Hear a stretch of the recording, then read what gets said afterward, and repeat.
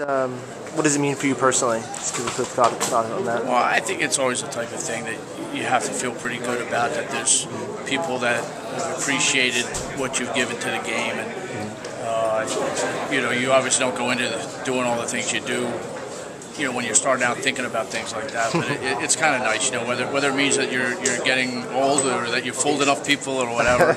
you know, I'm not sure, but uh, I would say the the biggest thing it meant to me was, you know, I, I knew Dennis Viollet when he was here as a coach, uh, you know, with the Washington Diplomats, and to actually, you know, be in a list of names that he's on is as humbling as can possibly be, mm-hmm. you know, because this is just one of the, you know, absolute legends of, of the game, and he did so much for soccer here mm-hmm. as well. So, you know, clearly uh, a very, you know, very nice honor that, that I appreciate tremendously.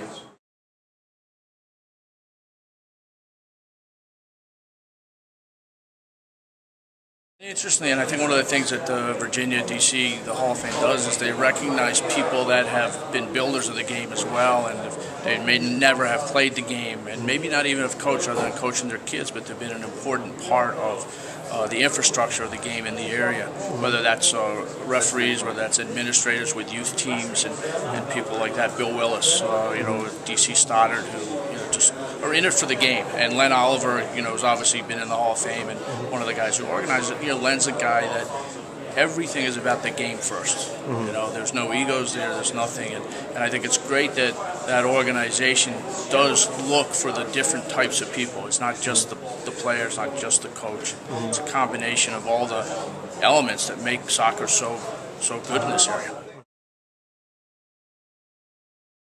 I look at it from the college soccer point of view, having started at Georgetown in uh, 1984, I'd like to say I was 16 then, but I, I was actually I was actually 24, so I was still playing and and watching it from there. Uh, the college scene obviously is dramatically different. It's just so so much better, you know. There, there's so many good players, and you know everything's competitive. And why is that? It's a byproduct of, of the youth system being so good.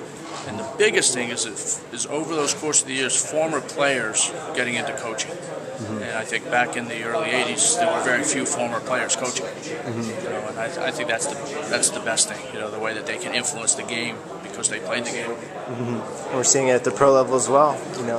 Uh, absolutely, yeah, and uh, you know, and, and, you know, I think the players going into coaching, you know, uh, it, it gives them a at least a, a level that they have a chance at becoming a better coach quicker. Mm. You know, but there's still uh, it's still a thing that you know it's not easy to step on and, and you know and do all that. It takes time.